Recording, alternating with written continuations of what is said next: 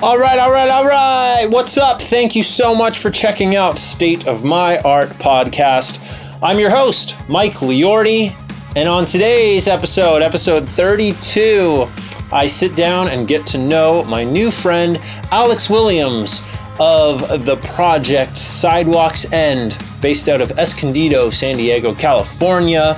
Sidewalks End is like an alternative power pop, emo, kind of throwback punk rock project. And Alex has been working very hard putting out a bunch of new music in 2020 and 2021. He has a new song coming out called One Eye Open. It's going to drop April 23rd. Alex is a fan and friend of Jara's. Jara was on episode 28 of the podcast. I'll drop the link to that episode in the description as well so you can get to know Jara and check out his music on the State of My Art playlist as well as Sidewalks End. And yeah, he just hit me up, saw Jara's episode, and was like, hey, could I get on the podcast? I got new music coming out. So I was like, sure, come up. And I'm really glad he did because I learned a lot from that young whippersnapper, and I'm sure you will as well. So let's jump into it. My conversation with Alex Williams of Sidewalks End happened here at the Sharp School of Music and Studio in Oceanside on April 16th, 2021. All right, now we're officially doing it, redoing it. I forgot to Yes. hit record, and we got like a minute and a half in, so not too bad. No. But we're back. We're we're really doing it. We're doing it now. Here we go. I'm here with Alex slash Will. Will is your birth name. Yes. I just found out, and you're in a band called Sidewalks End from San Diego. Yeah, Sidewalks End. Um uh it's sort of band. It's just me. But Okay. um yeah, it is a uh, privilege to be here. Thank you. Yeah, dude. Thank you for coming up and uh, you know dealing with all my craziness, setting all this up. No, it's totally okay. Thank you. Thank you for having me here. I'm really excited. Really Yeah. excited for today. Me too, man. Um, it's a beautiful day outside, as I already said in the previous take. Yeah. And we are spending it in a windowless studio here at the Sharp School of Music and Studio in Oceanside. Where are you from in San Diego? I'm from Escondido. Okay. So, nice. yeah, uh that east out east in the middle of nowhere. But do you know Isaac Park? Isaac Park. I've heard the name. I don't He's about your age. He's a, he's the drummer in um, our band here, Oh, okay, okay. formerly known as Mainsail. Oh, okay. I actually, yes, I actually do know him. I actually totally forgot about that. Yeah, he lives in Escondido. Yeah, actually, he goes. I think he goes to my parents' church. Oh, okay, So, he probably yeah, he yeah. probably plays drums there. Yeah, I think that's it. Yeah. Sweet. Um. Oh, so uh, Small city, small I world. know, super small for such a large like area of San Diego County. You kind of just when we're especially in the music era, industry, you kind of just know everybody. Yeah, yeah, dude. It Yeah. like I, I say it every year whenever I go to NAMM. Didn't go this year, obviously, Mm-hmm. but you end up, um, you know, we're no more than what is it, two degrees of separation apart from all musicians. dude. yeah, It's, it's scary sometimes. it is very. It is very. And you hit me up because you know Jara. You saw Jara's episode a few episodes ago. Yeah, I've known Jara for about three years now, so it was really cool, like seeing him do a podcast because I love I love that guy so much. I love his art. I love his music. Like he's a great, great musician. He, he- if anybody here that I want to become like just huge one day, it's Jara. Because Yeah. he is so larger than life character on stage, eh, but he the, he's got he's like the perfect balance. He's larger than life on stage, but just normal like great dude off stage. Yeah, he really gets it. He really Yeah. has been at it for a long time. yeah Um, I mean, I played my first show with him down here. I think we said it was 2014, but it was probably more like 2016. Um, at this like burger joint with Oh, wow. Little Heroin, and um, I remember them. yeah, so yeah, it's you know back to being a small world, and um, it's cool that it- it's it was cool to have him on and get to know him even more, other than you know just seeing him at shows and stuff and hanging out. But yeah, really down to earth dude, and I'm really glad you hit me up. Thanks for reaching out. I always want to have new up and coming artists on the show as well as relic legends on the show and it's Yeah. kind of become this cool balance that um, i'm hopefully building a little community around of like new artists learning from the old artists and old artists kind of getting that nostalgic feeling of when it was fun or Yeah, yeah. to, to put it bluntly. Yeah. Um, so yeah, thanks for being on and uh, congrats on putting all all that new music out in 2020. Thank you. Thank you so much. It was it's been good. It's been a good year. It's been a really cra- crazy hectic and stressful year for a lot of people, but it's been, you know, I've found a way to really make it worthwhile for myself, I guess, you know, and Good. and hopefully hopefully the music helps people through it too. Yeah. Yeah. Yeah, for sure. Thank you. I appreciate that. And again, like, thank you for having me on the podcast because I was really excited. I've been really excited. I haven't. Cool. I don't think you realize I'm very excited to be here today. No, I get it, Yeah. and um, pleasure's all mine. But I, I get what you what you're after is like it's you get all this new music um, building up, and then once you start releasing it, you're like, man, how can I get more people to hear it? So hopefully, this is a platform where people can check you out. I already added you to the State of My Art playlist on Spotify. Oh, thank a couple you. Songs. Thank you. Which Yeah. one? Oh, I can't remember the song titles. I did it like a few days ago. Okay. I'm so bad at song names. No, it's okay. What's Don't your worry about it. favorite song of yours? Oh man, um, probably the well, the ones that people know so far. Not the new one that's coming out, but that would probably be my favorite. Yeah. Um, but probably the one I just put out, Candy Glitter Heart. Um, because it, I'm, I'm a huge sucker for like old all time low boys like girls stuff. Nice. And I was hoping to make a song that would sound like that Mayday Parade, like all those bands. And um, I was super excited when that song seemed to be like my most played song. So cool. yeah. Um, but even aside from that, it's definitely like one of my definite total favorites I've ever put out. Candy Glitter Heart. Well, if that isn't the one I added, I will now. Thank you. Yeah. And that's a perfect title for those kind of bands, those early 2000s, Yeah. Boys Like Girls, All Time Low. Speaking my language, those are the two tattoos that I'm missing of this arm of influences that you Yeah. mentioned earlier. Uh, those are two bands that I really, really looked up to um, and kind of had uh, really cool moments getting to know them as well. I'm try- trying to get them on the podcast. Please. it's, hard, it's hard to re- it's hard to get a hold of them now. You, uh, especially all time low, but yeah, for sure. Yeah, I if you can get um I'm trying to remember his name Martin Johnson of Boys Yeah, Like Girls that yeah. would be incredible because I don't know if you listen to any of his new music Yeah, the Night He's- Game. yeah Night Game oh my gosh it's in his new record's incredible Yeah. Yeah. Very 1975, but like very different. oh yeah It's like music musical theater 1975. It's oh for sure yeah no it's really inc- creative. amazing I I've been listening to his I was listening to his last record all of pandemic and then um when the new one came out this year Yeah. I was just so excited like it was incredible such a great record he put out amazing um like singles for it Mhm. yeah. they're basically he's he's waterfalling it like Oh, a, yeah. a new song every month basically. yeah I believe that wa- that was what he was doing yeah Uh, that's pretty much the track you're on. What is it like?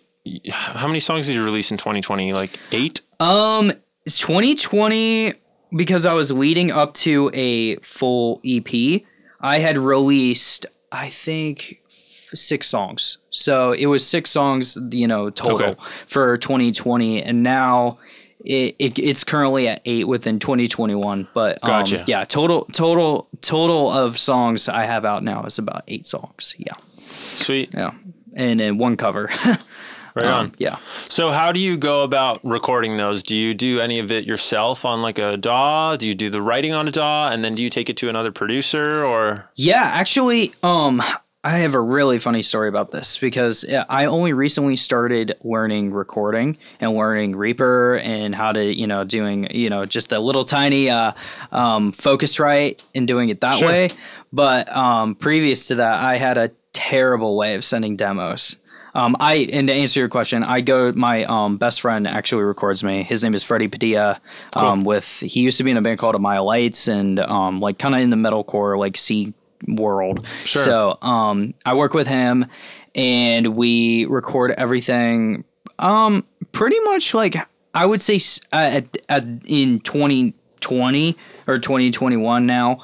I would consider would be um, industry standard of you know record recording kind of basement style and then programming drums and then you know everything else we just we just love playing around with sounds and stuff and getting it just dialed in the right way um, as far as like plugins and different things of that nature but yeah um, my demoing process was insane though i'm surprised he didn't kill me because i would record um, i like i said uh, before I used to have an iPhone 6 before I upgraded. Okay. And what I would do is I would take my um my guitar, like my amplifier, and I would hit record on the voice memo, and then I would record a rhythm track and then a um like a lead guitar track.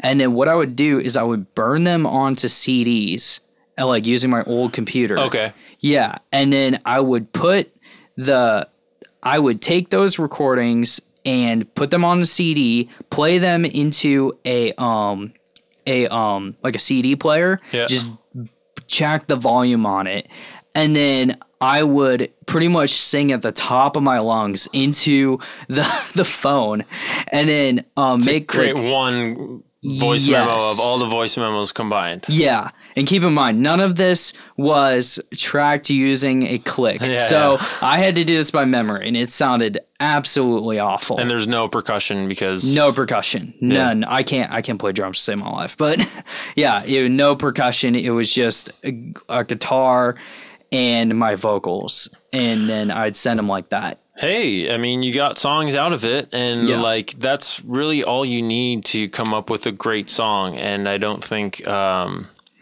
all the programming and production that I've learned along the way has helped create better songs necessarily. The Yeah. songs are the progression, leads, and vocals that you can just do on your iPhone. Yeah. And you can just record onto your voice memo and then um, you're going to end up bringing it to a studio or producer anyway. Yeah. If, if you want it to sound better than just you can make it sound, even if you could make it sound really good on your own. Mm-hmm. Yeah. So if you can't make it sound good at all on your own, it's not a huge deal as, long as you're putting in the work to have the ideas laid down, which you seem like you've got that figured out. Not only recording your ideas and songs and then bringing them to life, but we were talking before the podcast about how you make your music videos on iPhones. Yeah, on iPhones, everything's we just shoot it on iPhones, and then you know, I um the last one I for Candy Glitterheart actually I work I edited myself, but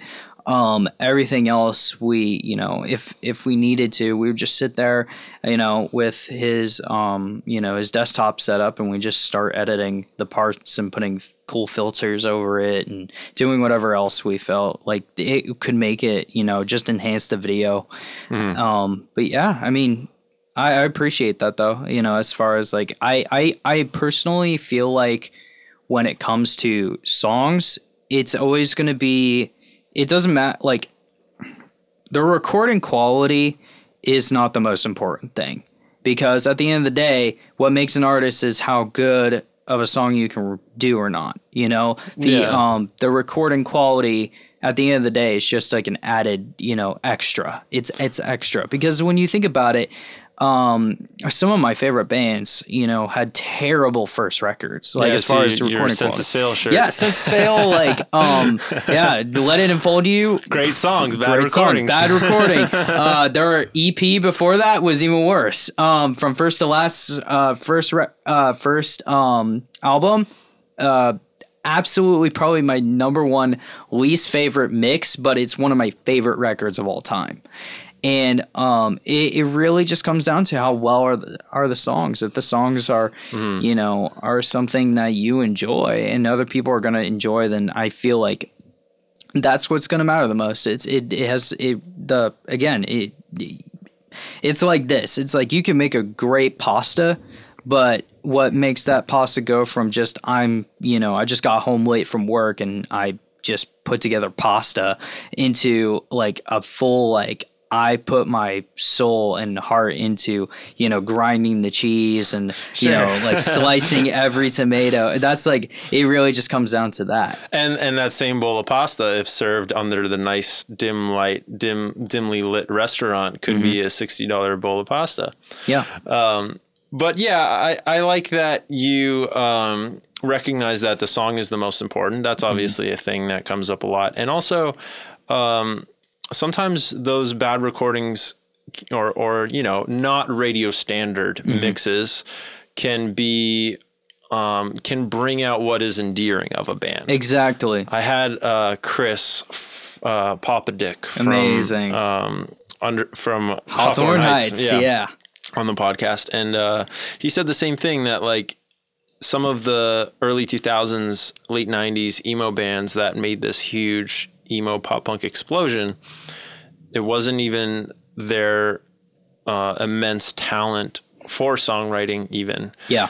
but it was just something about the whether it was the lyrics or they had a really good drummer that um, as long as they got out there and toured and did it, that little light of endearment sh- uh, would shine through. Right? Oh, yeah. Definitely. So, so uh, I mean, w- what you just said, I, I really want listeners to take as okay. I'm I'm not gonna hold off on releasing my music. I'm not gonna, you know, it. My music, even though I can't get it to sound as good as what's on the radio now, Cardi B or whatever, I'm gonna put it out, even though um, it's not at the level that I want it to be at yet. Because another thing is, you're only going to get better at songwriting. So even if your songs are not as good as your new songs that you just wrote, but you're like in the final stages of mixing, I still think, you know, put it out because that's where you were at at that time. Mm-hmm. A lot of labels and such would argue, and I would even,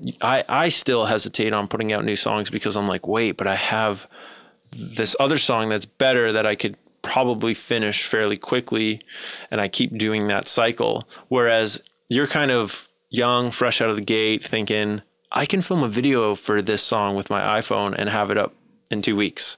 Yeah. Let's go. I'm I'm very much and I, a lot of that I think comes from the waiting around in from like previous bands or whatever. Sure. It it it really destroyed me. I hated waiting around. I hated not just going and doing it. Humming and hawing. Exactly. And I, I'm one of those people that likes to make a big noise when, you know, if you ask any of my, like, my friends from back in the day, especially like the old We Are One days or Fear Converge days, my, my, my previous Those are your old bands? Yeah, my old bands. Like, I was a super, like, rambunctious kid. Like, extremely overly like just crazy. And um and i i'm kind of like that with my music too. Like Yeah. I, I sometimes i have to have somebody else say like dude you just put out a song. Do not put out another one. And let let the you know let it let it grow a little bit you know before you put out the next song Fair. because m- my mind doesn't really stop running I, I just i'm always writing like yeah i told you before we started rolling like i was up super late just already already like working on new material That's great. and uh, yeah it's it's for me a very important thing that and I, I would say this for anybody who's like wanting to do music is really there's something and I think you've heard of this it's called we call it demoitis you know where mm-hmm. we we just kind of we we record it or we get it semi recorded and then we just start going in this cycle of this isn't good enough or this isn't good enough or this isn't good enough Well, the way I look at Demoitis is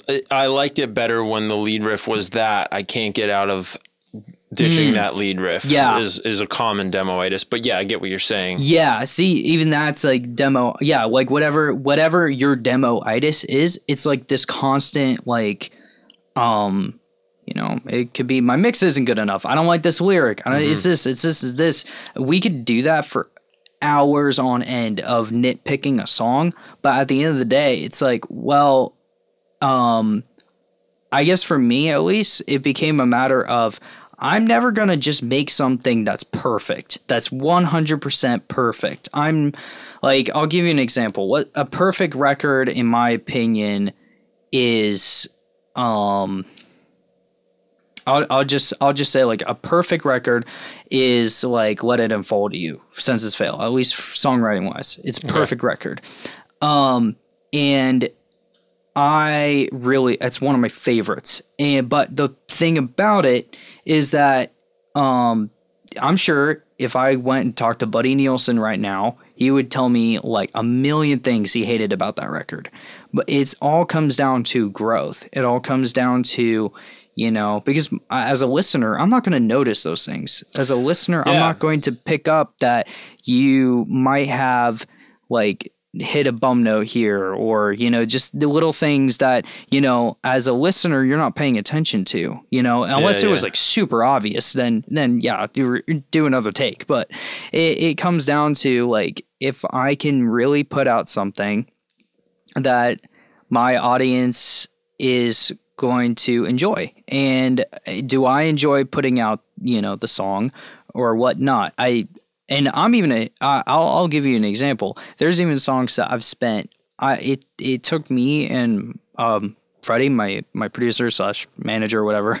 Um, we spent writing. We wrote the song kind of together because I wrote the song as far as like the lyrics and stuff on my own, and I just had it on an acoustic guitar. But we spent literally full. I think we did. This is the most we've have ever spent time recording.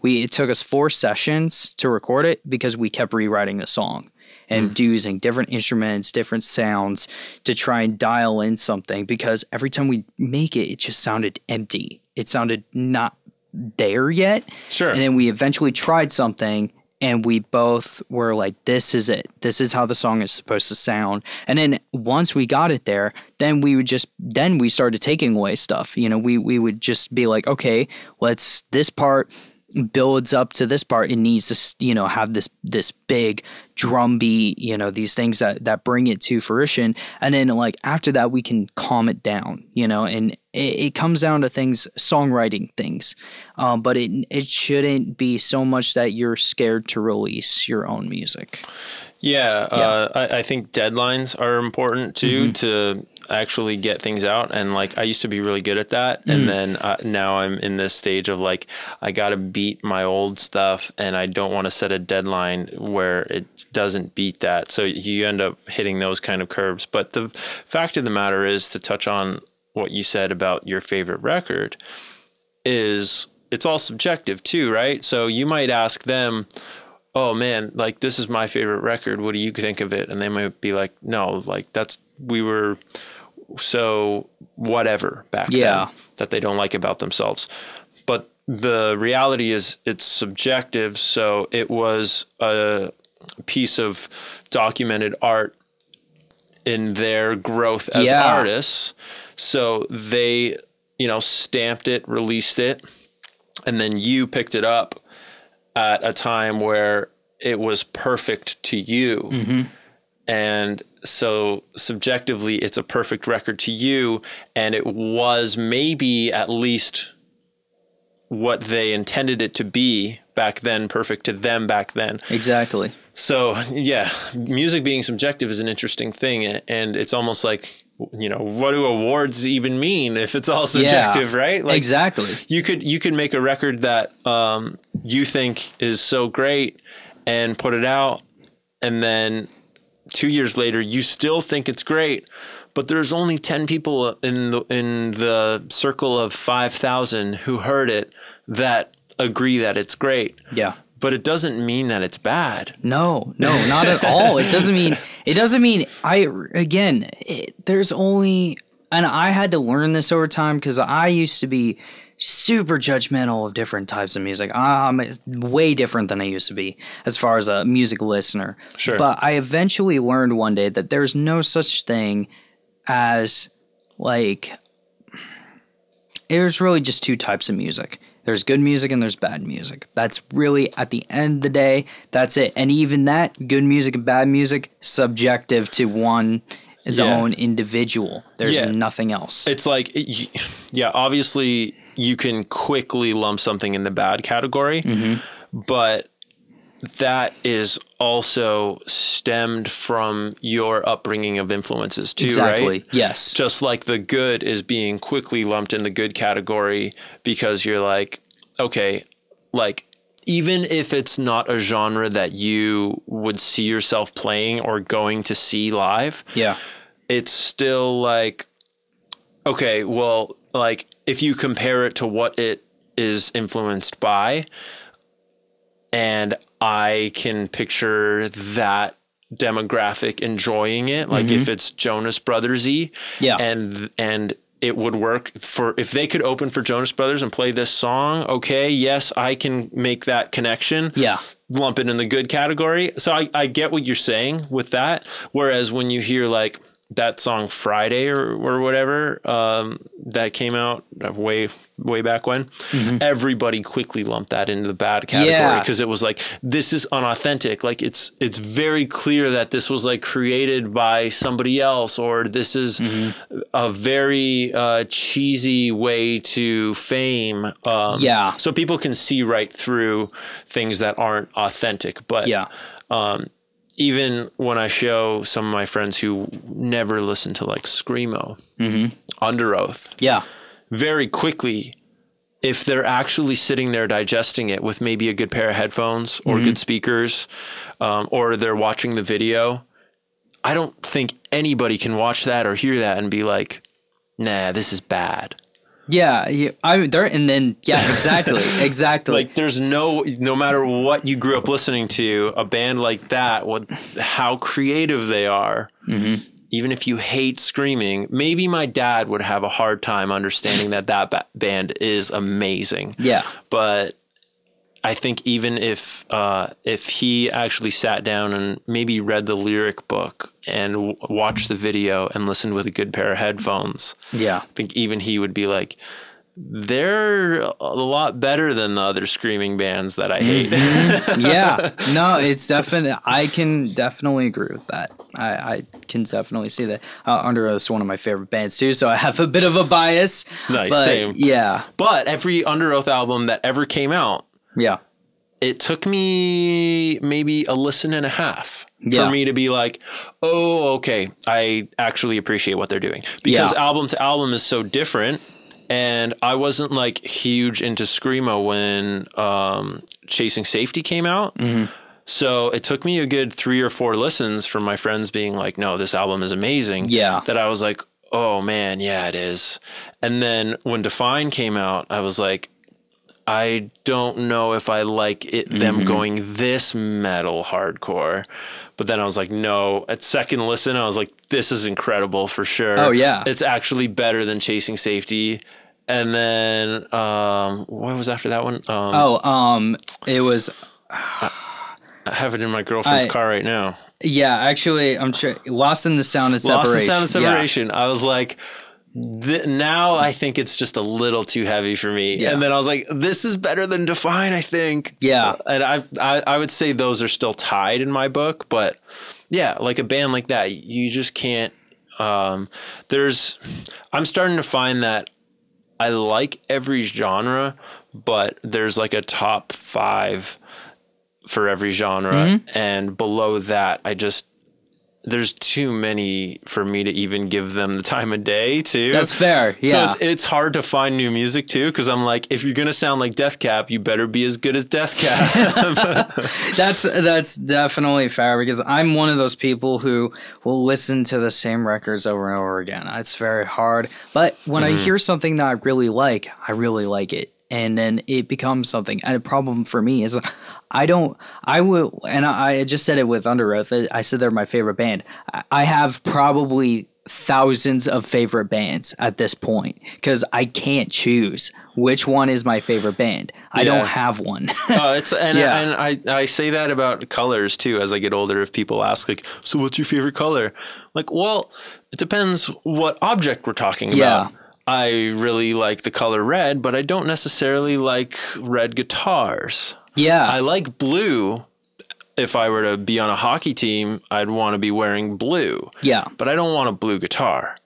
Um, and I guess kind of the same thing with music. It's like, what's your favorite band? Well, it depends on the genre we're talking. Yeah. If I'm in the mood for some pop punk, Mm-hmm. I don't necessarily want to hear Lil Wayne, but Lil Wayne's my favorite rapper, probably. So, like, Mm-hmm. yeah. No, that's that's totally fair. That's totally understandable too, because it's like, uh, I yeah, everything's subjective. Like really, at the end of the day, I feel like people are starting to learn that now more than ever. That like because I remember back in the day, people used to be like those kind of like the keyboard warriors, but for music, and it was like they they oh, they grasped onto that like this isn't true metal, you know? yeah, so yeah, yeah. hard. When there's like local music boards and stuff. Yeah, for yeah, sure. Yeah that was like that was like people would genuine would I'm oh, I'm not I'm not even kidding. People would get in f- like fist fights over it. Yeah, you yeah. know.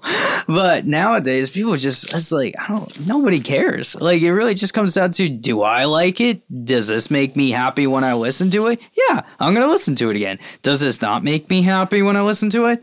Mm, I, I, I can't even say it doesn't make me happy. Maybe I just don't feel anything when I listen to it. I'm just not going to listen to it again. You know, it, it really comes down. It's that simple. Yeah. Yeah, and like I've been doing sound a lot now Mm-hmm. that I moved down here at a lot of the venues. You know, before COVID closed them all down. Yeah.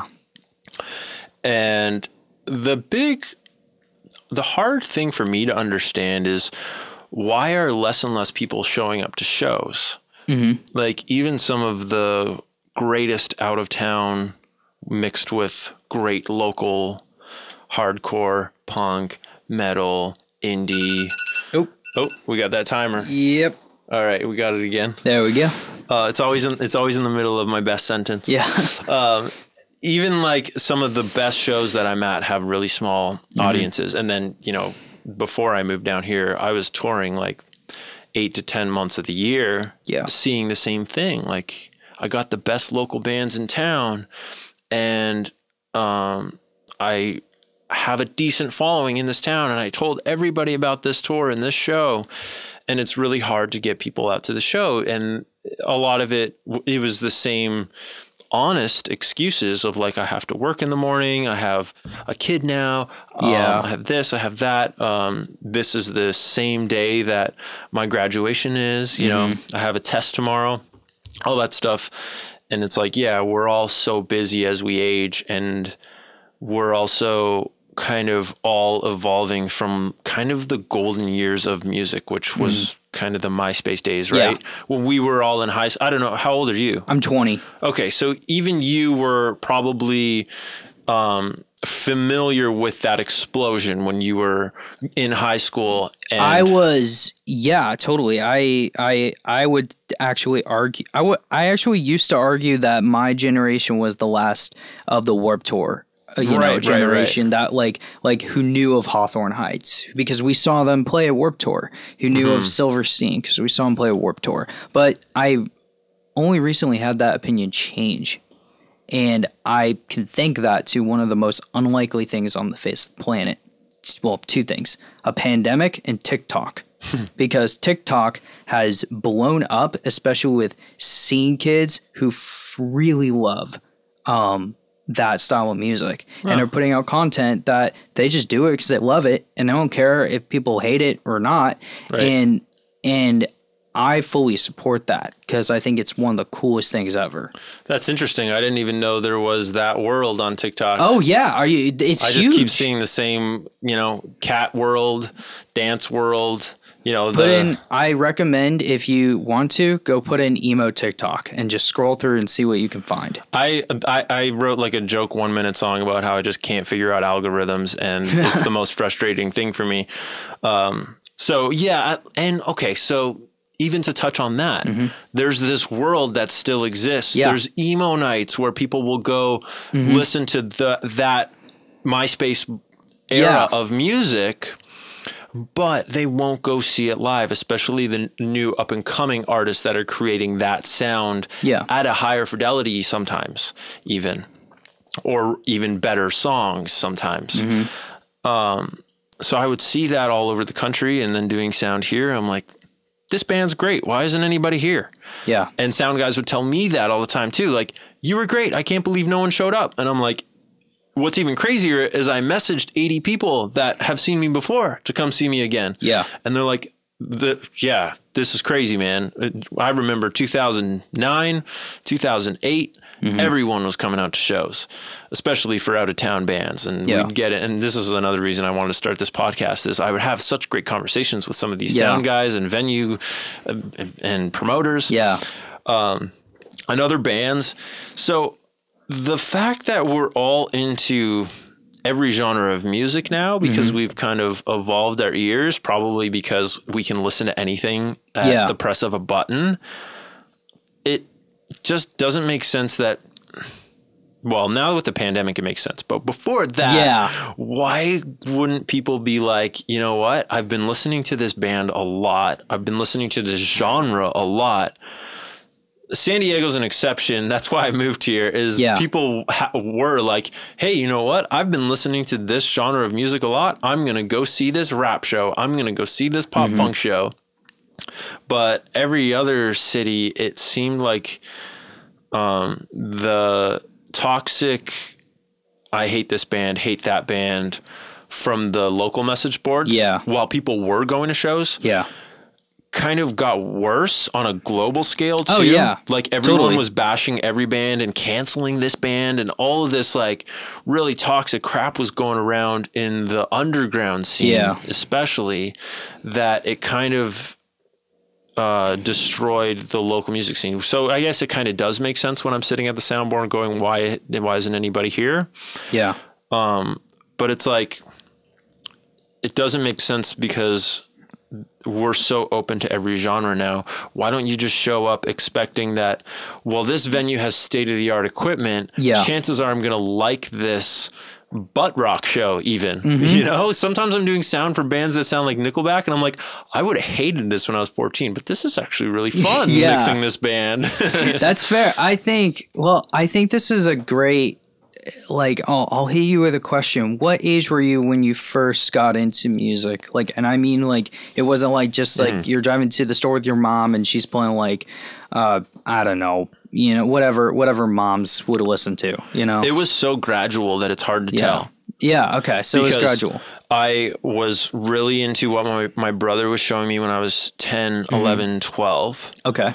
And that's when I started begging for a guitar instead of the piano lessons that I was forced into. Yeah. But actually taught me a lot and made me able to pick up Weird Al songs and songs that were on Tony Hawk really quickly. So- like I had a I had a good ear for music because of that. Mm-hmm. But I would say between 10 and 14 was this big transition of wait a second, maybe my life belongs in music. So that's the that is pretty much the key to the problem. The problem is is like in any like any generation, you have people who grow up, and I do think that there's a lot of different reasons. It it can apply to either you got into music, but as you got into music, you fell in with the wrong people, you got on drugs. It could have been I got into music and it was a really bad time in my life, and now I'm trying to clean up. I'm trying to, you know, it could be a million different things, or it simply is I got busy.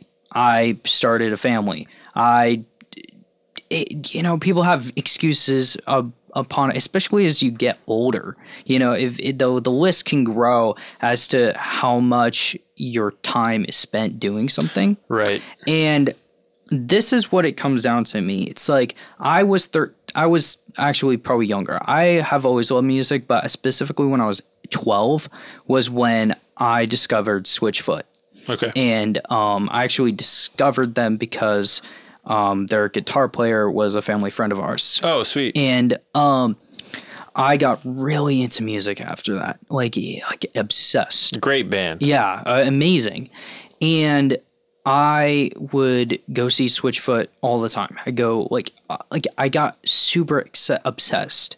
What it came down to, and I think this is the thing with a lot of it, is the there was no.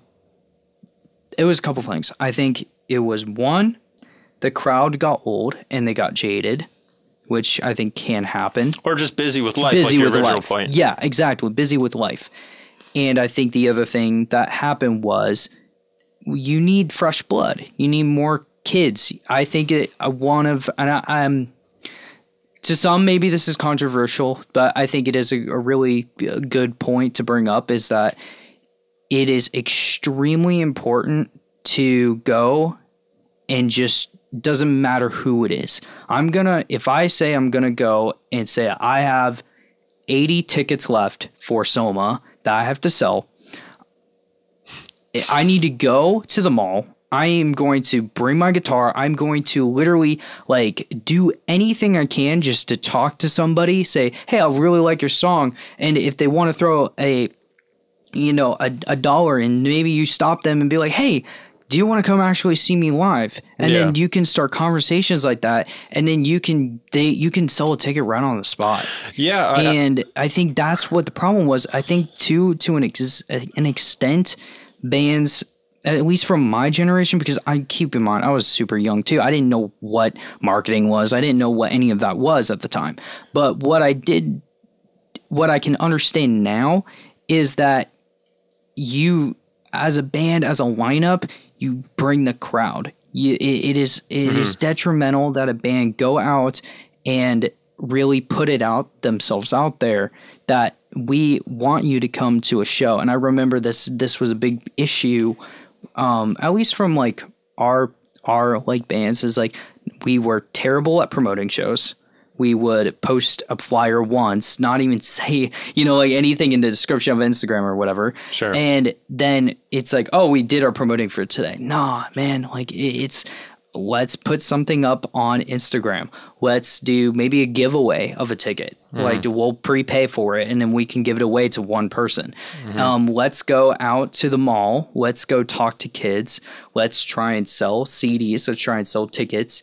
Um, uh, I think another good example would be like um, I actually have a friend who used to be in a band called Adult Science.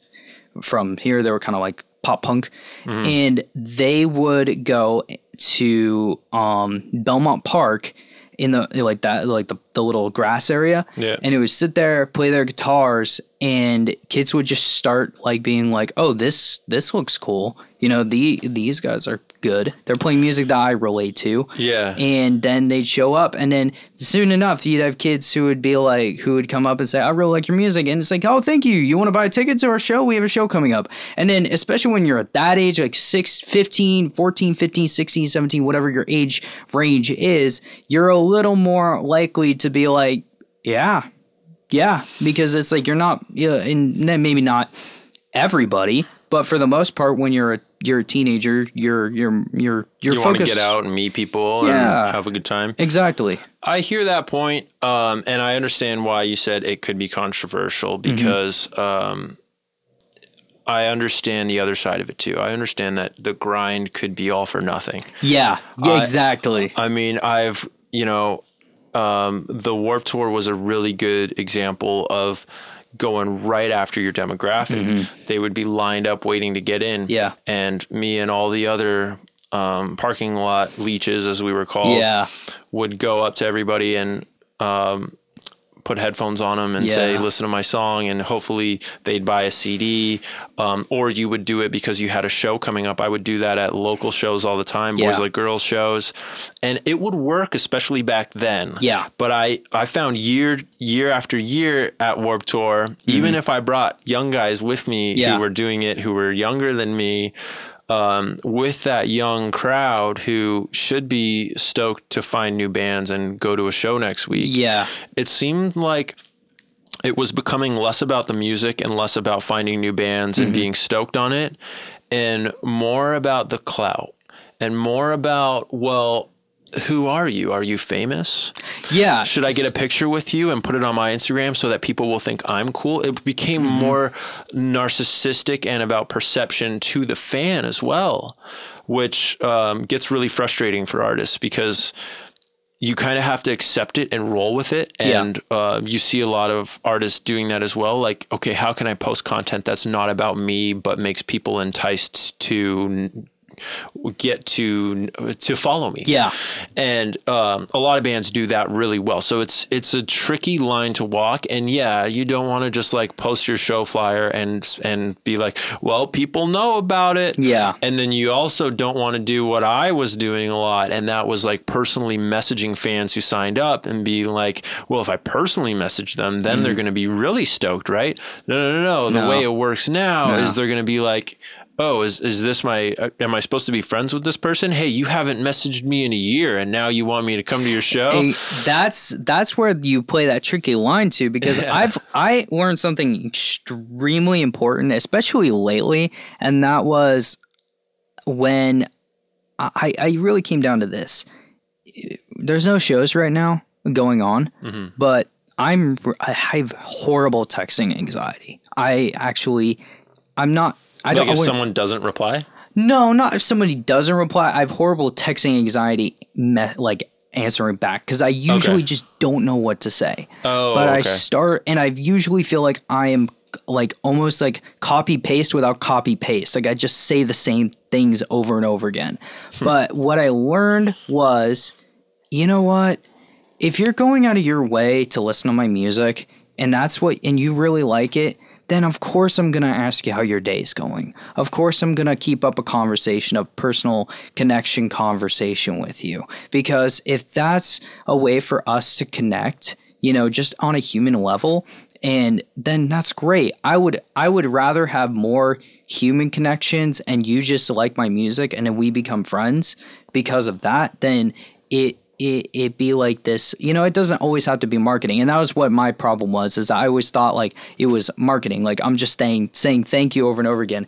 But it became it started becoming less of like thank you thank you smiley face to thank you how's your day going? You know? And Yeah. um then you could do things like that. But then, yeah, I remember especially the Warp Tour, like the, then even the name, the Warp Tour Leeches. That Yeah. was, I remember when I would go to Warp Tour, feeling kind of annoyed when people Oh, would come up sure. to me, Yeah. and I.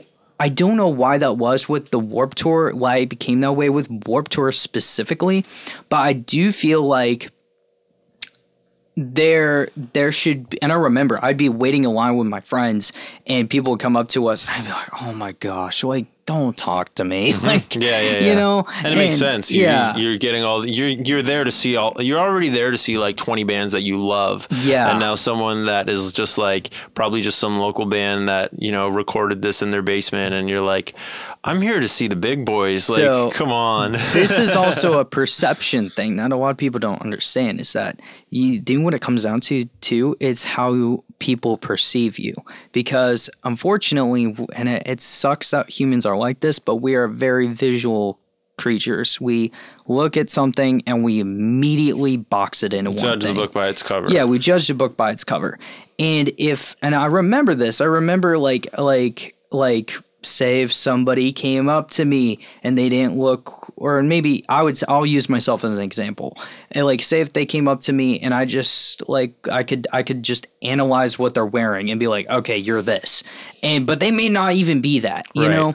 And um I think what it it- it's kind of sucks that we have to do this, but it is the truth of of You kind of got to fake it till you make it to yeah, impress I'm these people. fake being that person that you want to take a picture with until you actually do want to take a picture with. Yeah, that came Yeah. up on, on uh, my last podcast with uh, Jesse Eisenbart too, and Mm-hmm. Nick Lenari. He he firmly believes in that. So, to your point of wanting to have a personal connection with this fan who loves your music because you genuinely genuinely feel an immense appreciation for this person acknowledging your music. Mm-hmm.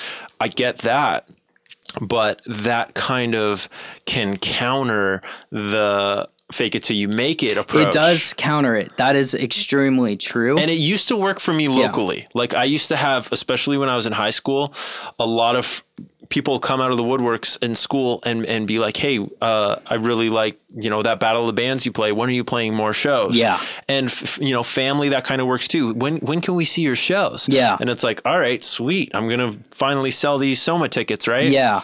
Um, But once I started getting on the road and doing that with people, especially people who were like, "You could stay at our place. Like, we're so glad to Yeah. have met this famous person." It was really awesome, and they would like my music, Mm-hmm. and, and then we'd build this personal connection, sometimes way too personal. Yeah.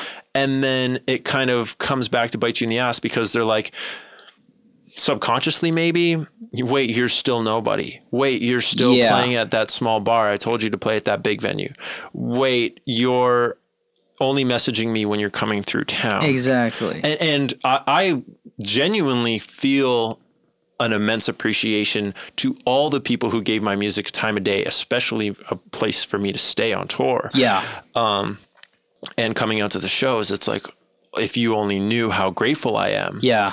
but sometimes they get the opposite um, perception of you where Yeah. they think you're unappreciative because you only message me when you come to town. It's like, well, there's like 2,000 of you that signed up for the email list. Mm-hmm. Yeah. I can't message you all every day to see how your day is going. Yeah. Exactly. And also, like, you have no idea how stoked I've been all year to see you again, Yeah. friend. You know, Yeah. person who bought all my merch. Like, I, I genuinely love you, Yeah. and I don't want that to sound creepy, but It's you true. supporting my entire existence of making music for 14 hours a day, like, I love you more than you could ever understand. yeah.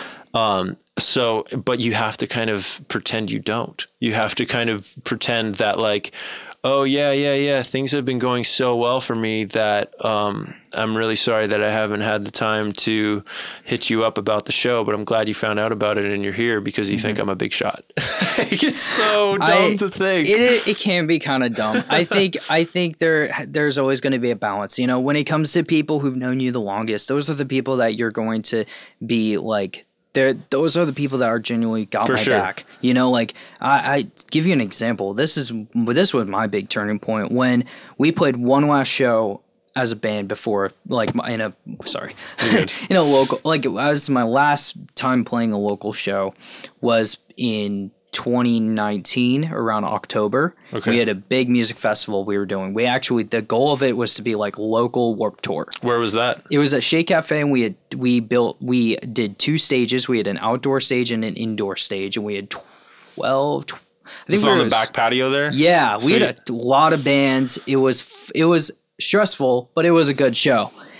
Um, the thing about it though is that we played that show, and then my band just it didn't we didn't do anything after that, you know. And I I could go into a million reasons, you know, as to what ultimately happened, but essentially, uh, even for me, like I after we played that that last show, I felt like something in my life was complete, and I just felt like I needed to move on. Yeah. And I remember how many friends I lost because I kind of almost in a way started my my quarantine before quarantine Fair. because I felt like Same. I still lost a lot of friends. I eh, like there weren't people hitting me up to hang out anymore because I wasn't really doing anything musically anymore. At least that's how I felt. And uh, I had I wouldn't call it the worst birthday ever, but like it, I'll just say like like my um I had that my birthday is in November, so it was act after October, and my it was a kind of a bummer birthday. You know, it wasn't a worse. Obviously, I actually had a good time with my significant other doing something, but other than that, it was like like none of my people I considered my friends didn't come. None of you know, and it was a huge bummer for me because I felt like I was now like like I would go to a show or something. I kind of just felt like alone, you know. And maybe I wasn't as alone as I thought I was, but I really felt yeah, it could have been from the high to the low. Like the, the post warp tour depression was a real thing. Oh, I believe it. Yeah. where it's like you have these great days with everyone and then you kind of and you're doing you're on this high every day where you actually don't even need any sleep because things are going so well and it's so exciting and then you go back to normal life or having a normal job and you just feel kind of alone Yeah, I, I that's how I, I felt, and I felt actually I have a song, kind of kind of about that on my first record or first record EP essentially, and it um what's that song called it's called Gas Lamps, and it's actually it's kind of a it's kind of like an ode to kind of like like that feeling of like nostalgia. I wish I could go back to that. I wish I could go back to to my friends, to all of that. And it's almost like this this memoir of would I really want to go back to that? Would I really want that? Because at the end of the day, the people who are in my life now were, were the ones who consistently were my friends, who were the ones who wanted to be around me, even if I was or was not in a band. Mm-hmm. And that's, I think, when it comes down to even with the fans thing, it comes down to understanding that there's a relationship with everything and sometimes that relationship is is is like band fan oriented and not Yeah. necessarily like but not there's always like yeah you're my friend. You're always gonna yeah you are my friend. But like like there there and it's understandable that there's a difference between you're my friend and you're my friend I've known for 10 plus years. And we have been through thick and thin together you know like it, it's been like a long ride and there's always that difference too. I think i think there has to be like an awareness of like of it. And like for me i would see it this way of if i had to message people every single day it would get tiring because i don't like texting. I'm actually i, I feel really weird about it. But i will try and check in when i think about it you Sure, know? sure. and and and see how that person is doing especially through this social distancing. Oh, yeah. it's it's kind of nice when I just think of like that someone who was at a show a year and a half ago. Yeah, yeah. And sometimes I'll just straight up because I don't. Maybe sometimes it's easier for me to just make a call. I'll just call them, you Yeah. know, and um and that that can also be a thing. And I I know how. Oh, I guess the thing is, is just finding that way to just grow because at the end of the day the fans who supported you from the beginning also kind of move into that that realm of you're not just a, a fan anymore. Mm-hmm. You were a fan of me when i was playing to nobody you know? You were the kid who showed up Yeah. who who showed up to a random show in the middle of nowhere And sometimes they go through their waves too. Yeah. And, and like, you know, they'll be totally uninterested in the music you put out for two years, not because of the way it sounds, just they got a new job Yeah. or they got a girlfriend and that's their life now. Um, so it's understandable when people go through phases like Yeah. that. Um, it's just, and, you know, I'm guilty of it too with some of my favorite artists when they come out with a new project or a new album. Yeah. And I'm just like, I'm just not ready to go there yet. yeah Um, but I'll get there. yeah Um, so it's uh, to to the way I personally suffer from that uh, depression and anxiety Yeah. of like, wait, this person had me as their uh, avatar picture on all their social media for the last year, and now they're just not going to come to the show because it's their friend's birthday party tomorrow. Like, there's stuff like that where it's like it's really confusing to me, but at the same time, I have to like now that I've taken a big step back from it, from touring especially. I can really ground myself and be like, wait, you did that to some of your favorite artists who Mm-hmm. you were essentially just a fan of because of their music. Yeah. So I, I'm actually like kind of the opposite of that, where Mm-hmm. like I have no problem having no personal friendship with a lot of these fans. Yeah. I love them for l- listening to this music that I put my entire heart and soul into. Yeah. And for supporting me and for carrying a really cool conversation and finding out about their life. But I have no desire to know how their day went. Mm. Honestly, um, I have so much else going on and people that I feel guilty that I actually love, Yeah. like my family, that I never really check in on because I'm just so engulfed with my day to day. So I, I'm sure I'm going to have a lot of regrets about both sides of that. Yeah. But at the same time, my biggest regret currently is that I wasn't able to find a clever way on social media, TikTok, to generate more of a following Yeah. to come to these shows so that I could tell Soma, yeah, I'm cool with headlining and we can move it to the big room. Like Yeah. that's my goal, Yeah. you know? So I think even to an extent, there will always be that. If someone hit me up and was like, "Oh yeah, are you cool with playing the big room headlining?" and if you say even I'm not like fully confident, I'm just gonna say yes, and you can do it now and figure it out later. Is essentially how I do it, and just be like, "All right, well, okay, this is how many tickets I need to sell." Um, I'm going to do everything in my power to sell every last ticket Sure. that I have. So I'm going to go to like, and it's not just shows. Like again, like I, I, I don't know why I keep bringing it up, but I really feel like the mall is a great place because you have a giant Yeah. place that every different person loves. Your grandma loves the mall. Your your friend down the street loves the mall. Yeah. Your um, yeah, again, everybody emo but kids you love the could, mall. you very quickly become that parking lot leech. if yeah, you- if you you can, if and especially if you there is a way to make sure that. I've been kicked out of several malls. Oh, I'm sure. I'm sure. I've heard about across it across the Yeah. country. I think it just comes down to even just like, hey, maybe I'm not gonna go up to you, but the people who will want to are the ones who come up to you. So if they come up to you, and it may not even be about music. Uh, I, I actually worked at a Spencer's um, over Christmas, and people will come up to me and see this actually this shirt, the Yeah. Senses Fail shirt, and be like, "I love Senses Fail," and I would go and be like.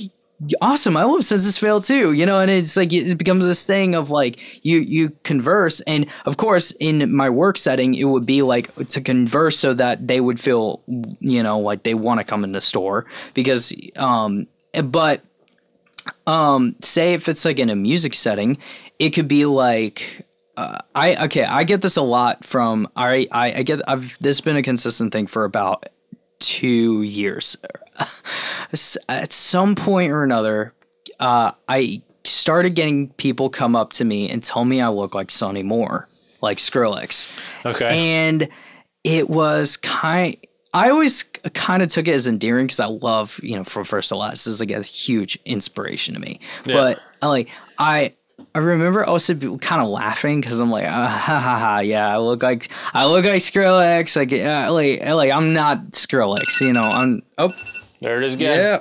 Like I'm not I'm not Skrillex, I'm not, you know, No, but you have a look that's like, hey, I want to meet this guy and get to know. You have an artistic look to you. is yeah, the best that's a good put way of putting it. Jara has, you know, make sure he checks that box off too. So that, yeah. Yeah. people come up to you and talk to you. And I mean, I definitely have no shortage of people coming up. Sorry, I'm six foot nine. People t- come up and talk to me all the Mm-hmm. There you time. go. Yeah. Most, mostly people who are interested in sports. Yeah. But and you have interesting tattoos because say if somebody recognizes Yep. that Death Cab tattoo, they're gonna come up to me like, "I love Death Cab." So And- yeah, I get yeah. approached a, a, a lot for those things. My point is the conversion of getting those people who came up to me to talk to me about my height or my artistic image, converting them to being a follower has gotten harder and harder and harder Mm-hmm. Oh, yeah, since sure. MySpace.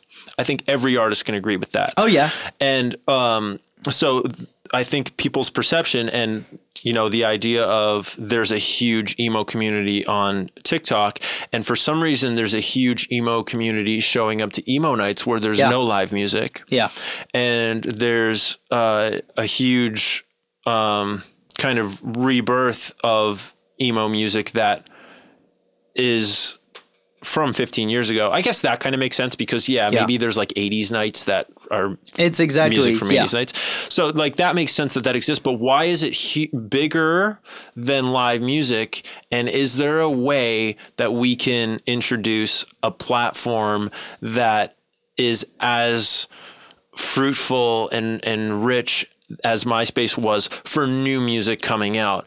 Because I feel like we we still haven't, and Spotify's trying, um, and it's great that they um, are able to you know put music out for all these artists. But the the problem is there's really no way to the the people are the problem. I don't feel like it's the the platforms so much because people are so distracted with their short attention spans that they're definitely on their phones all day and potentially making their this content because like i originally yeah. said it's become kind of a self-absorbed world that we're uh, in with our phones now maybe they just maybe that's the real reason they don't have time to come to your show maybe that's the real reason they no longer have 10 bucks to buy that ticket mm-hmm. that, so the conversion true. rate is way tougher because of that reality um, so i think there needs to be something where it's like the most frustrating month for me mm-hmm. on tour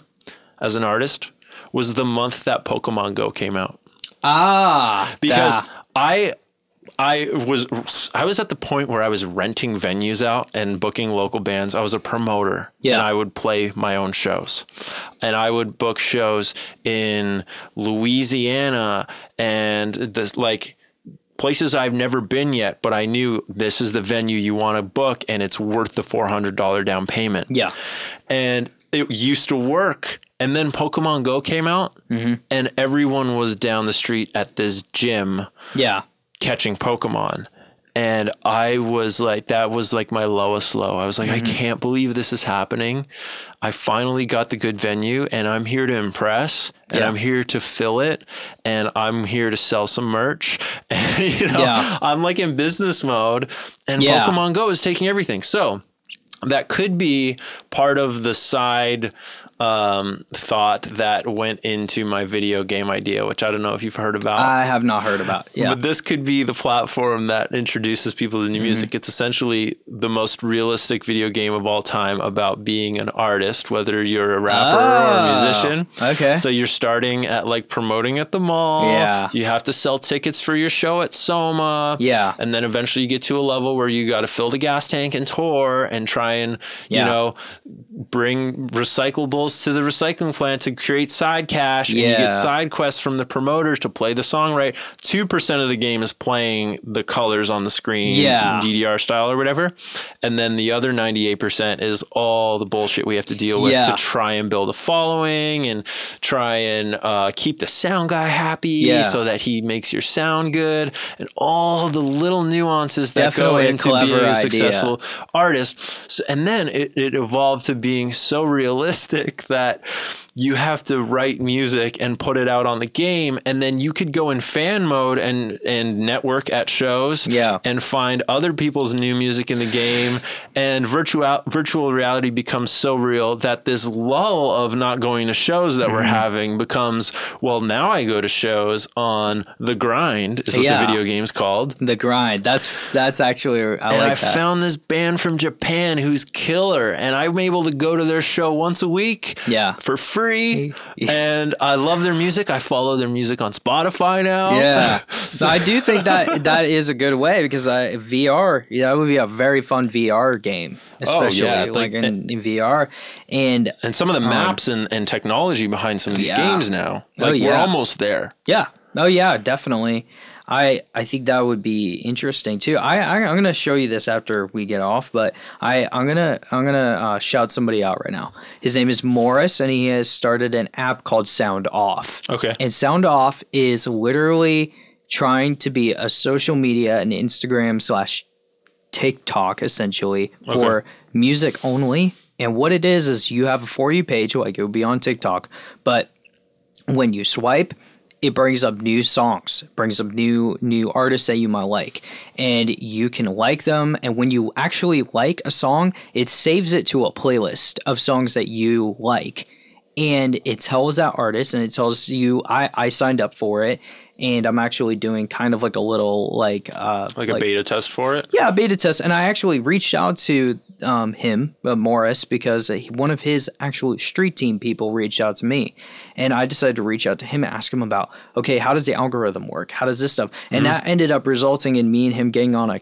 on a phone call for about an hour and a half, and just literally running through a bunch of different business ideas too for the app. So if that's something you're interested in too, that might be something you might want to look into. Yeah, I mean, I get hit up mm-hmm. about apps all the time yeah. that I used to be very optimistic about being the game changers. Oh yeah, yeah, yeah. you know, definitely. for live music, Yeah. I, I tried. I tried one for one of my tours for my EP release. That I was like, you know, maybe this is the answer to get people to commit beforehand. Yeah. Because the cities where I would show up a week early and Yeah. hustle tickets at the mall and hustle tickets to all these fans that saw me last time uh, were going so well. So I've I've tr- I tried to, to to go in that business mindset with apps that were being developed around that, and. Uh, similar to apps like this, where it's like, okay, you create a profile. Yeah. I have so many profiles on all these different apps now. Yeah. Um, and I think that they're great ideas, and Yeah. I really want them to work. And you know, who knows? Maybe his will. But I think we have been kind of taken advantage of so much as humans by these companies who create these social platforms. And I know this sounds like conspiracy conspiracy theorist, um, controversial kind of stuff, but you got to remember, like the people who work at Facebook and Instagram and YouTube, the people who are behind the marketing Yeah. and getting you to to keep clicking that app and Yeah. TikTok to go back on that app, they're the same they're of the same studies and some are the same people even Yeah. as the people who have who create the the incentive for people to go back to the casinos, right? We Yeah. all know that. Yeah. Um, It's it's psychology. You know, what marketing is psychology when you think about it. They're actually For sure. extremely connected, interconnected, and um and uh, yeah, I mean they do it. I think even to an extent, a band can do it. I think if they if a if a if an app can do it, a band can do it. Because Yeah. yeah, you have to you have to realize though, like with everything, it's like okay, I am talking to another human being, so I can't just look at it and completely manipulate you into you know just liking me. But yeah, but Yeah. And, and and and bands don't have that kind of psychology degree or psychology, No, yeah. uh, like the like the people who you know get you to come back to the casino do, and, and plus, not to mention the money behind it. yeah, Um, so I know you. I, I hear your original point of like bands need to get off their ass and go to the mall and promote. I've always said that, and Yeah. I've I've been called the hardest working guy in music by several people, and I know other musicians who have been called that too. Um, so there's I don't think there's necessarily a shortage of working hard, but I think that there's definitely a community and um, education around working smart. Yeah, that exactly. we're definitely missing. And and I kind of want this podcast, and I know there's other podcasts that Yeah. have built communities like that, where it's like, here's how you can be a DIY DIY DIY artist and make it work. Keep these things in mind. Yeah. Implement this way. Um, even you know making videos on your iPhone for free so that you can spend that fifteen hundred dollars on marketing, like we originally were talking yeah. about Yeah, those things go a long way, but they can only go so far. And that this app that your friend is inventing, Mm-hmm. Sound Off, it's called, sound off. Yeah, can only go so far. can. if if you don't get all seven billion people in the world downloading it, like Instagram and Facebook have, Mm-hmm. this and, is and TikTok. One thing I always keep in mind too when it comes to stuff like this, because at the end of the day, how much am I gonna promote it to? Because at the end of the day, where am I where am I gonna put my my energy? Because Mm-hmm. as much as I, I like my what my friend is doing and I think it's a great app and all that, my my interest has to be on like my own career, my own music, you know?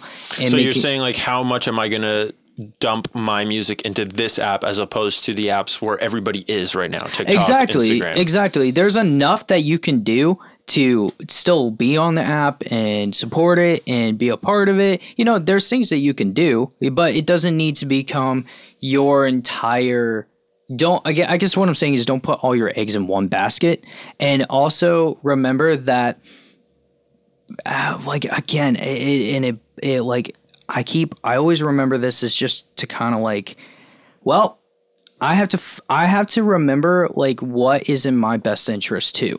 And that's unfortunately one thing about me that I, I I can be a bit of a people pleaser to the point that I will put my own well being you know aside mm-hmm. for somebody else and it really upset me or something and I'll completely put everything that I feel aside for somebody else. But it's that also of like, okay, I need to remember my own interests as well. And that isn't even a selfish thing, is to remember that, like, hey, I want to be a musician, so Yeah, I need yeah. to focus on being a musician. I need to focus on putting out good music that people want to hear, and then going and as far as my promoting, my promoting can look in multiple different ways, right? So far, like my and my it goes back to kind of growing that following at an arm's at, at a distance. yeah like, at a distance, you yeah, know, because having yeah, a balance. Yeah, you you you said it best that like it's not a selfish thing, Mm-hmm. but sometimes oftentimes I'm finding more and more as I grow up, the more selfish that I make my goals and my hours, Mm-hmm. the more I'm actually giving to the people who want me to give what they want me to give. Exactly. So your fans want you to put out music and give them music and bring them a live show Yeah. and give it your all. And but the only way you're going to be able to accomplish that is to be really selfish with your time Mm-hmm. and be really selfish with all these things that are going to be in the grind video game that And you have to manage exactly. to make work um, to to make your fans happy. And prioritize.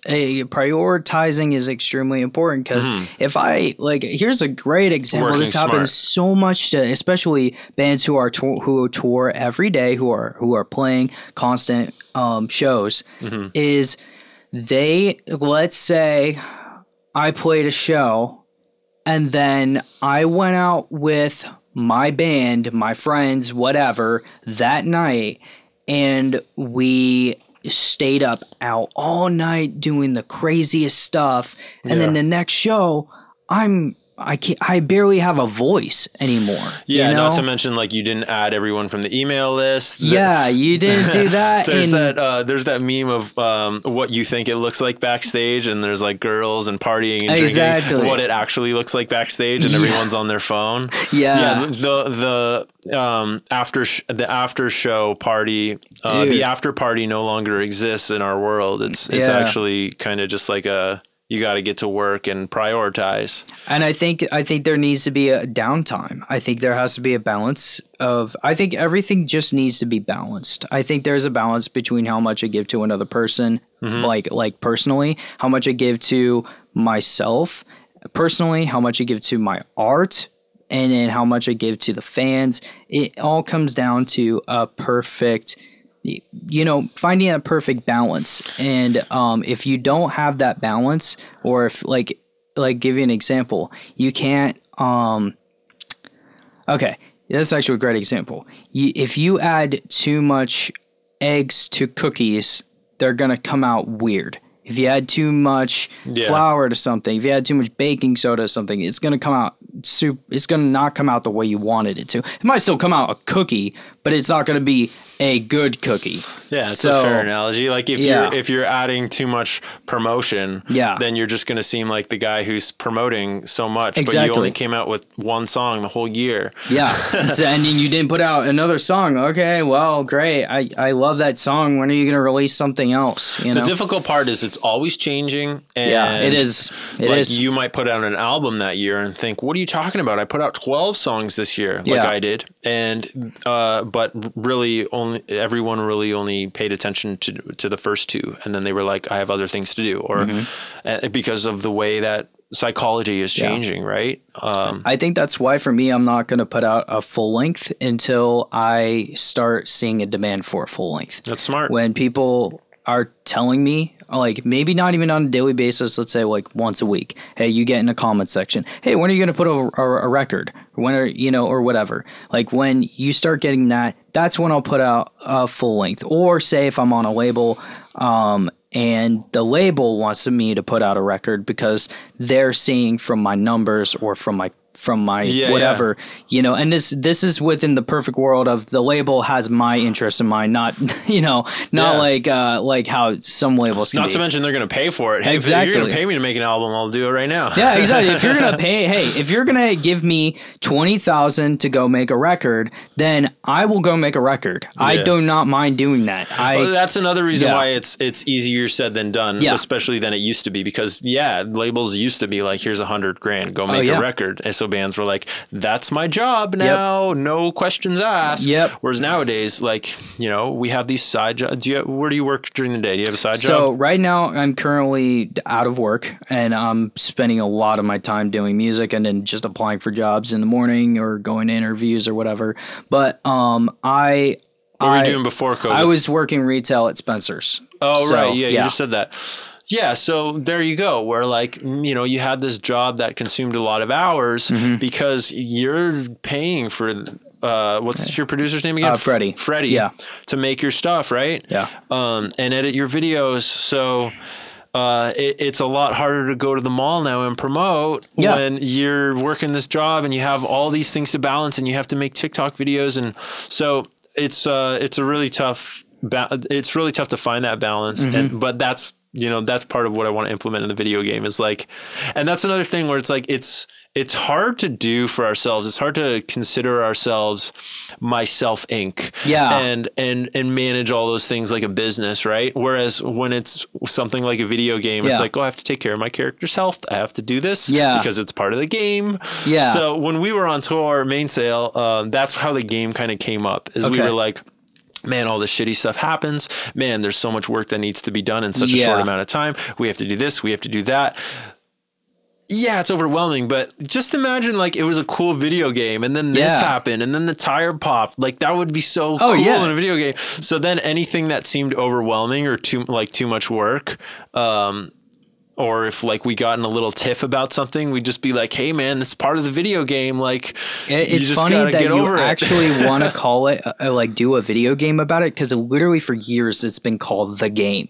You know, Right, And yeah. it literally it is a game. My life, uh, even life, is any, a game any in piece general. Oh, of entrepreneurship is yeah, yeah. kind of like uh, taught to be looked at as a game Yeah. so that's that's kind of how it naturally came up and you know i've got no intentions of uh, allocating my time to game development by any means, but Yeah. it's it's funny to joke about just to get through the hours of the day that you don't want to do, like filing your taxes. That's part of the video game. That's like, part of it. Hey, your Yeah. character does not want to go to the, go to jail. File this. yeah, file the taxes. Uh, uh, let's think about another a, a good one because this will. I, I really think it's funny.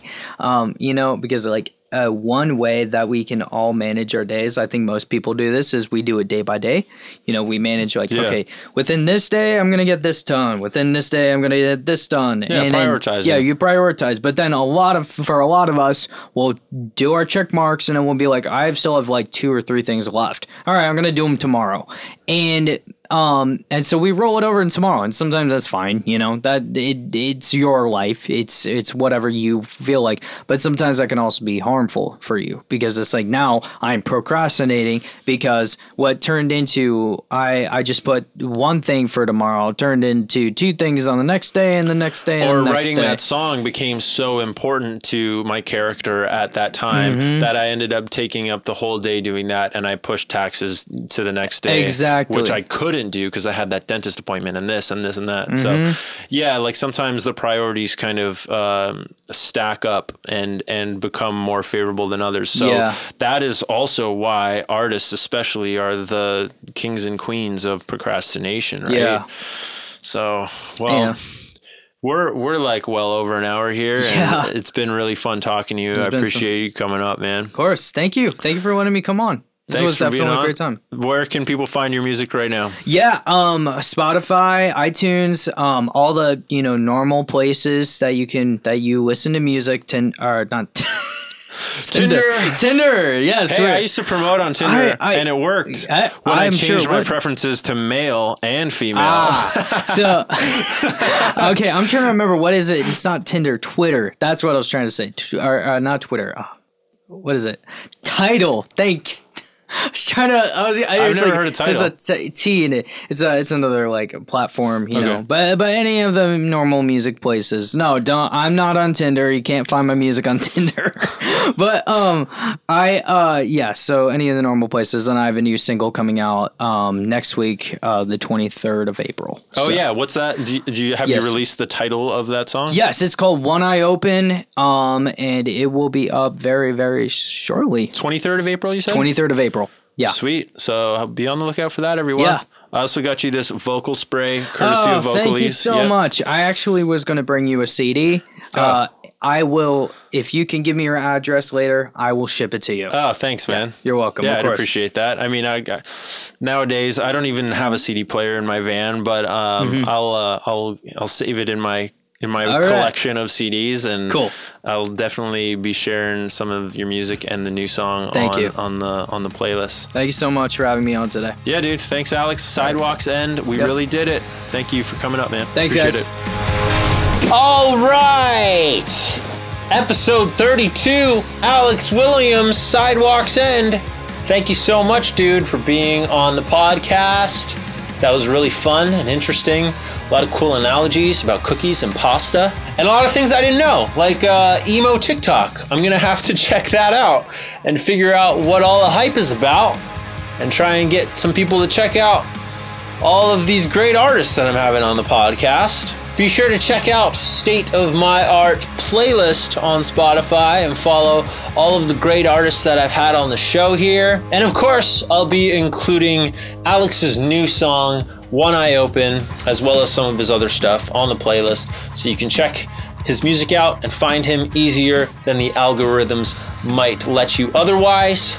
And a big, delicious, warm, happy thank you to Vocal Eze for hooking Alex up with some throat spray. If you want to try your very own Vocal Eze, as well as their all natural products, visit this website beside my head, this reference link. I'll leave it in the description as well.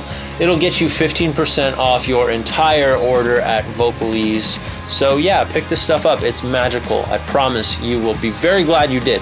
Thank you again to Alex of Sidewalks End for being on the podcast. And thank you for checking out this episode of State of My Art podcast.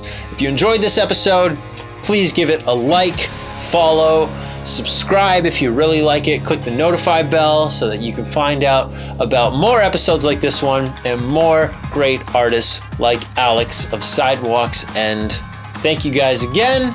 I'll see you next week for another episode of State of My Art podcast.